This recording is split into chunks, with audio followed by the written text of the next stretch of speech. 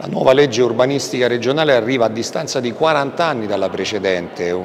Fino ad oggi eh, l'urbanistica in Abruzzo era regolata da una legge dell'83, un'era geologica fa, una legge assolutamente inadeguata ai bisogni contemporanei e all'urbanistica moderna. Oggi abbiamo una nuova legge che affronta i temi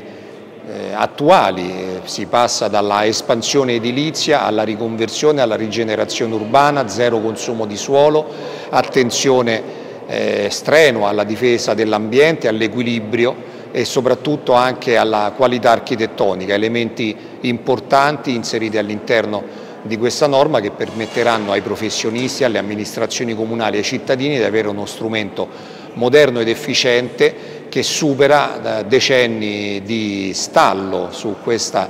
materia e di ritardo che aveva ormai generato una situazione obsoleta, un'obsolescenza di,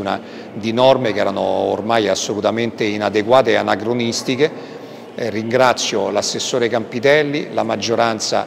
del Consiglio regionale la maggioranza di centrodestra che ha avuto la capacità e la forza di affrontare un tema così importante, così sensibile, così delicato anche per gli interessi